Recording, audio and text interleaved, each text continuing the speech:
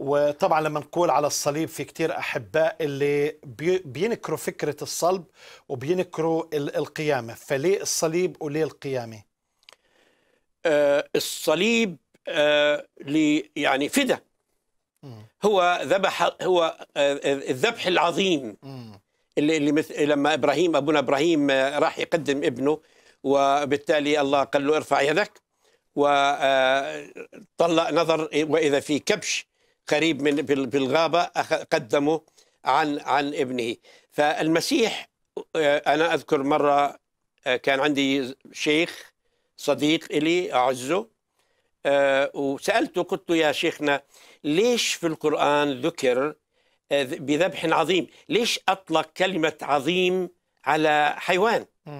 قال لي لأنه هذا الذبح العظيم هذا الخروف اللي ذبحه أبونا إبراهيم نزل عليه من السماء.